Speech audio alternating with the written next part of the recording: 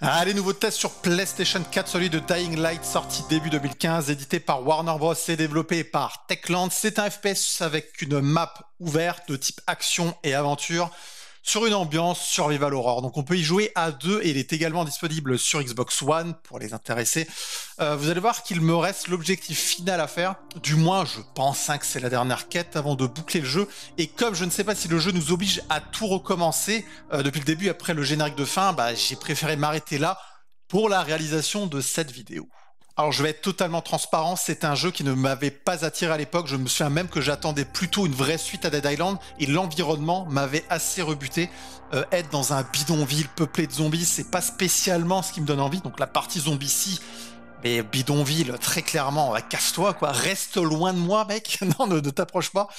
Euh, donc c'est dommage, hein, mais euh, je préfère mille fois être sur une île tropicale comme l'était Dead Island, premier du nom, euh, alors ce qui est drôle, c'est que ce test devait, devrait normalement clôturer une sorte de trilogie, puisque si tout se passe bien, vous aurez tout d'abord le test de Zombie U, puis celui de Dead Island 2 que j'ai tourné euh, il y a plus d'un an déjà, qui pourrit sur la chaîne en, mode privé.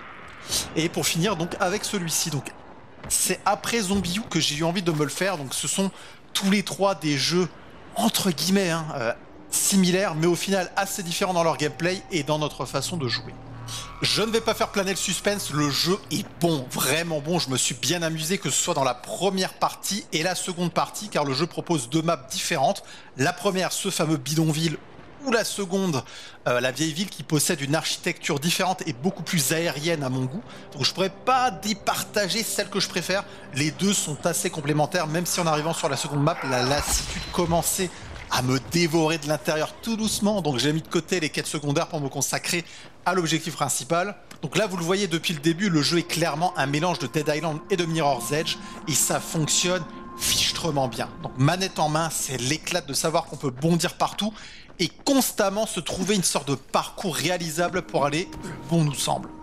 Il est là l'atout numéro 1 à côté de la rigidité de Zombie U et du manque de gameplay d'un Dead Island. Vraiment, ce gameplay est top du top. Je m'attendais pas, je m'attendais pas à ça. Donc j'avais compris à l'époque que le jeu se rapprochait un petit peu de Mirror's Edge. Je l'avais vu à travers les vidéos, tout ça, la presse, etc.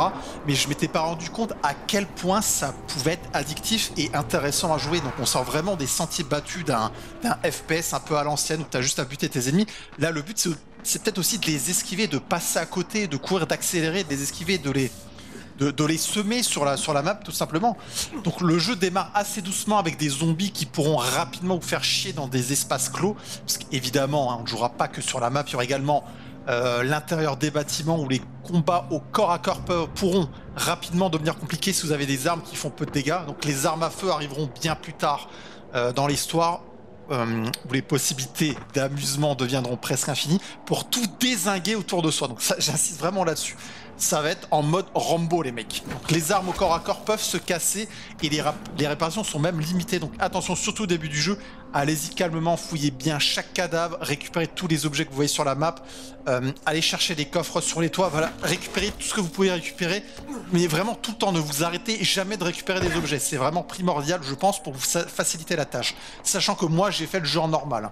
Je suis quand même mort je vais pas dire souvent non plus, mais de temps en temps, ça arrivait que bah, j'avais pas la bonne arme, j'étais dans un endroit trop confiné, il y avait trop de zombies devant moi. Donc très clairement, j'ai trouvé le début du jeu beaucoup plus compliqué que par la suite. Donc c'est assez étrange comme sensation, parce que généralement, le jeu est censé devenir de plus en plus dur, logiquement. Mais là, franchement, non, j'ai roulé sur tout ce qui se trouvait en face de moi. Euh, le personnage devient aussi une machine de guerre avec des arbres de compétences bien maîtrisés pour une fois. Euh, en différentes catégories. Donc généralement, tu as des arbres de compétences, tu je, je pense à Days Gone. Limite, ça servait à rien. C'était nul. Les trucs que tu avais à débloquer étaient vraiment nuls. Là, c'était intéressant. Il y avait des trucs vraiment cool. Euh, qui, te comment dire qui t'intéressaient tu les voyais dans, le tableau et ça va être pas mal quand je vais débloquer ça je vais peut-être euh, peut-être attendre on va, peut-être plutôt se diriger vers là pour débloquer ça euh, et ça c'est cool j'adore j'adore ce, ce, genre de choses parce ça ça t'incite à voir plus loin que le moment où tu te trouves. Je sais pas si vous voyez ce que je veux dire. Donc moi je suis loin d'avoir tout débloqué et pourtant je trouve que ça suffirait au point où j'en suis. Là ça me suffit très clairement pour finir le jeu. Euh, le jeu a pris une autre tournure lorsque j'ai débloqué la compétence permettant d'éclater la tête d'un zombie lorsque celui-ci se trouve au sol. Donc celle-là les gars, euh, faut vraiment se jeter dessus. Donc par la suite, bah, ce sera coup de pied au zombie il va tomber et là écrasement de, tête. Donc tu vas économiser tes munitions, tes armes au corps à corps bah, ne vont pas se détériorer plus vite puisque tu ne vas plus les utiliser. Donc ça évidemment sera utilisé lorsque t'as pas une armée de zombies devant toi. Hein. Évidemment si t'en as qui pop de partout, bah, tu vas continuer d'utiliser tes armes, mais ça va vraiment te faciliter la tâche de débloquer cette compétence. Après, comme souvent, je vais pas entrer dans les détails pour éviter que la vidéo soit trop lourde à écouter, mais en armement, il y aura tout ce qu'il faut, hein, entre le pistolet, la mitraillette, le fusil à pompe, le cocktail, molotov, le grenade, et j'en passe. Euh, quand vous avez accès à tout, bah, c'est l'éclat total. Hein. Ça reste tout de même un jeu assez répétitif où vous allez constamment faire la même chose même au niveau des quêtes, hein, c'est toujours aller vers un point A, euh, vers le point B, ramasser quelque chose, ramener un objet. Euh, voilà, c'est toujours pareil dans les jeux comme ça, mais qu'est-ce que vous voulez faire de plus au final? Sachant que le jeu dure environ 20 heures, allez, entre 15 et 20 heures en ligne droite, ça dépend à quel rythme vous jouez. Hein, si vraiment vous, fusez au max ou si vous prenez un petit peu le temps de tout fouiller ou pas. Euh, mais alors imaginez avec toutes les quêtes annexes qui dégueulent de partout, je pense qu'on arrive aux 40 heures. Hein. Sans exagérer, je pense vraiment. Pour moi, c'est trop. C'est beaucoup trop, mais on ne va pas cracher sur du contenu supplémentaire. Euh, je pense que si j'avais été encore étudiant, je sais pas, à l'époque du collège, du lycée, euh, lorsque j'avais pas d'argent, fallait que j'attende que mes parents m'achètent un jeu, je pense que là, j'aurais kiffé tout ce contenu en plus. Très clairement, je l'aurais peut-être fini à 100%, j'aurais fait toutes les quêtes, j'aurais déboîté le jeu. Mais là, tu bosses, tu sors, t'as plus le temps, j'ai plus le temps moi de faire tout ça même mentalement j'ai plus l'envie. Au bout d'un moment j'ai envie de passer à un, autre jeu, découvrir autre chose que je peux plus faire un jeu comme ça à 100%. Hein. C'est triste, hein, franchement c'est triste. Après je pense que les, vraiment gros joueurs Days Gone, pareil la durée de vie est exceptionnelle. Je l'ai terminé, je l'ai même platiné Days Gone. Donc vous voyez que ça dépend peut-être du jeu. Je sais pas. Moi celui-là ne m'a pas donné envie d'y passer des heures et des heures et des heures. Je suis vraiment content de l'avoir fait. Très clairement, hein, j'ai passé vraiment un très bon moment. Mais euh, voilà, j'ai pas envie d'en avoir plus. Je sais qu'il existe un 2, je l'ai pas acheté. Pour le moment, j'ai pas spécialement envie de m'y mettre. Peut-être dans un an, deux ans, dans deux ans, peut-être jamais, je sais pas. Peut-être que j'aurais jamais envie de faire sa suite. On verra.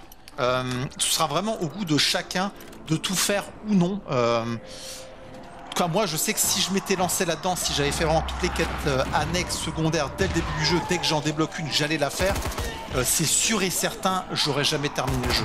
Je m'en serais lassé, je l'aurais mis de côté, je me serais dit, bah, j'y reviens dans une semaine, j'y serais jamais revenu, j'aurais fini par le supprimer de la play et j'aurais zappé le jeu tout simplement.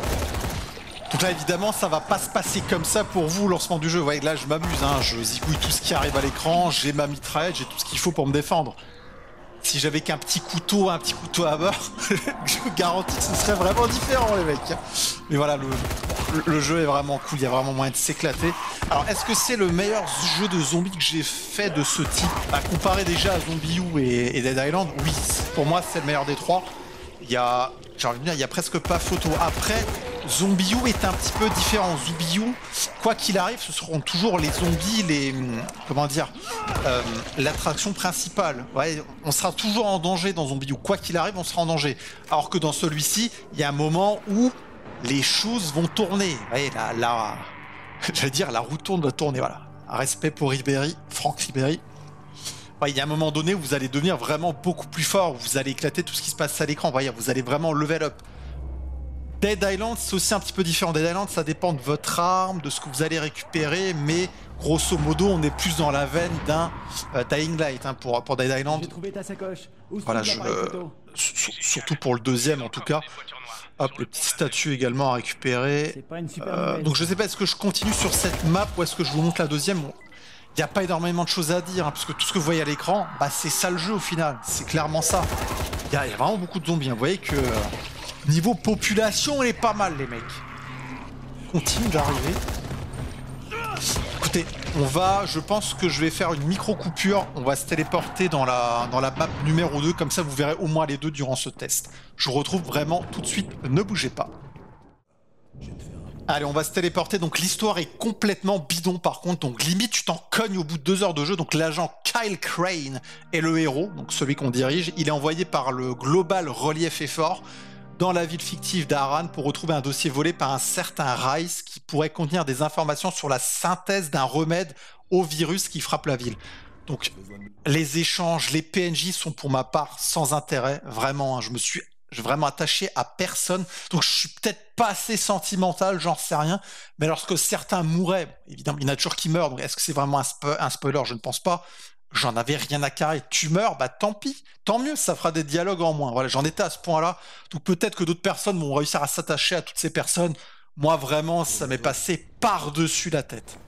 Un truc qui m'a vraiment plu aussi, c'est que le jeu possède un cycle jour-nuit. Donc la nuit, c'est l'enfer sur Terre. Des zombies spéciaux font leur apparition et vous pourchassent.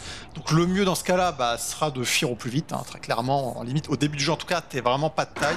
Et là, une fois de plus, j'ai trouvé que c'était beaucoup plus simple sur la seconde map en sautant de toit en toit, malgré ces zombies euh, super puissants de la mort qui tue. Mais c'est vraiment cool parce que en mode nuit également, tu vas gagner beaucoup plus de points, plus de points de compétences, ton personnage va évoluer beaucoup plus vite. Donc tu as quand même plutôt intérêt à jouer de temps en temps la nuit. Parce tiens, lui, tu peux faire passer le temps, tu peux aller dans un abri et dire, bah hop, je veux, je veux attendre jusqu'au jour. Mais euh, ce serait quand même intéressant de jouer de temps en temps la nuit. Euh, des fois, juste se balader de toi en toi, bah, ça, va te, ça va doubler ton expérience. Alors, je sais plus si c'est doublé exactement ou pas. Je crois que oui, hein, mais j'y mettrai pas ma main à couper. Mais voilà, n'hésitez pas à passer du temps la nuit à désinguer quelques zombies. Voilà, ça va vous faire des points en plus. Vous allez évoluer plus rapidement. Et voilà, il y a un petit peu de challenge quand même. C'est quand même sympa. Vous êtes quand même des bonhommes, les gars. jouez-moi la nuit de temps en temps, s'il vous plaît. Puis vous avez également le grappin qui se débloque lors de la seconde partie du jeu, grosso modo, et qui, est quand même sympa aussi niveau gameplay. Hein. C'est vraiment encore un surplus euh, qui va vous permettre d'aller plus vite, d'enchaîner. Là, lorsque je me balade sur les toits, j'ai vraiment l'impression d'être dans un Assassin's Creed, hein, très clairement. C'est vraiment top. Je vous le dis, je dis depuis, le début depuis le début du test, hein, mais manette en main, c'est le pied, c'est le kiff total. Très clairement, c'est vraiment ce qui fait la force de ce jeu-là, c'est son gameplay. C'est même pas une histoire de zombies, de zigouiller les zombies, c'est de faire ce que je suis en train de faire en ce moment même. Sauter partout, me balader, m'accrocher, grimper. C'est vraiment excellent. Je rêve, il y a un zombie qui vient de tomber du toit là. Ah d'accord, donc en fait on a, on a, toute la population de la ville derrière moi. Allez, on va vite dégager les mecs. Allez, on va sur le toit. Donc le grappin, vous pouvez pas l'enchaîner. Hein. Vous voyez qu'il y a une espèce de barre d'endurance en bas à gauche de l'écran. Pourquoi pas hein. C'est pas, pas mort d'homme hein, en faisant ça. Alors, qu'est-ce qu'on va... Qu'est-ce qu'on fait? Est-ce qu'on s'arrête là ou est-ce que je continue encore un petit peu dans la, sur la quête annexe? Je, sais pas. Genre, c'est des trappes, on peut rentrer. A priori, pas ici.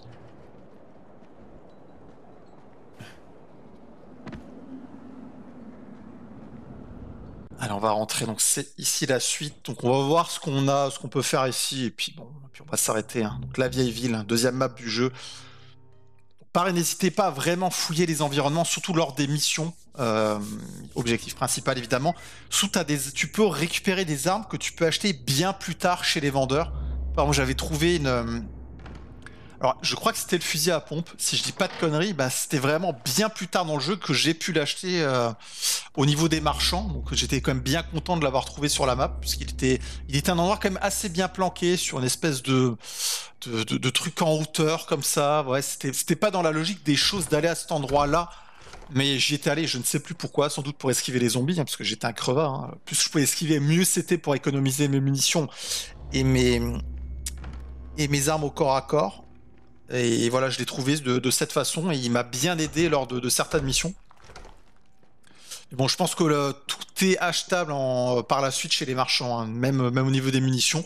Donc pareil, n'hésitez pas vraiment à fouiller les zombies, je vous l'ai déjà dit, mais fouillez-les, fouillez-les, fouillez-les pour récupérer de l'argent ou des objets que vous allez pouvoir revendre chez les marchands pour pouvoir acheter des munitions derrière. Voilà, c'est toujours intéressant de, de, de, bien utiliser son inventaire. Donc voilà, donc je pense qu'on va s'arrêter là parce que je viens de voir le chapeau du mec Là, on est dans Fantasia très clairement. Hein, il a la gueule de Mickey. Euh, avec sa petite manche déchirée. Bah, le souci du détail, les gars, et même les visages sont pas dégueux, je trouve. au niveau des rides, tout ça, donc les expressions. On n'est pas dans du euh, Last of Us, vous l'aurez compris, mais c'est vraiment un jeu qui vaut le détour, qui est vraiment sympa, qui, qui peut se faire sans prise de tête. Voilà, c'est toujours sympathique d'y revenir de temps en temps, de faire une mission ou deux, de vous arrêter, de vous mater un petit film, et peut-être de jouer un autre jeu, peut-être en parallèle, peut-être pas que jouer à ce jeu-là comme je vous l'ai dit, il est assez répétitif, donc voilà, vous faites ce que vous voulez. J'espère que ce test vous aura plu. Euh, moi, j'ai passé j'ai passé un bon moment à en parler en tout cas, c'était plutôt cool. On arrive déjà à quasiment 15 minutes, donc je vais pas aller plus loin. J'ai pas envie de passer 20 minutes non plus sur un jeu PlayStation 4. Euh, merci à tous. Euh, si vous avez des questions comme d'hab, la partie commentaire. Moi je vous dis à la semaine prochaine. Foutez-moi le camp. Allez, ciao tout le monde. Il y a une petite, Alia. Elle est. Thank you.